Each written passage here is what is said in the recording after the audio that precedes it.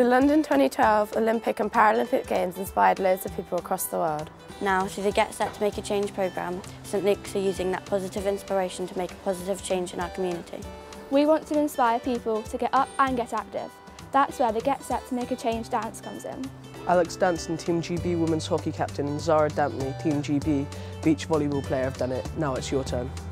We are asking people from across the world to film themselves doing the Get Set to Make a Change dance. The best ones will be used in our final video. We'll use the video to inspire people to get up and active. Upload your videos to... The closing date is midday on Friday the 4th of July 2014. Go to www.stlukes.devon.sch.uk for further information.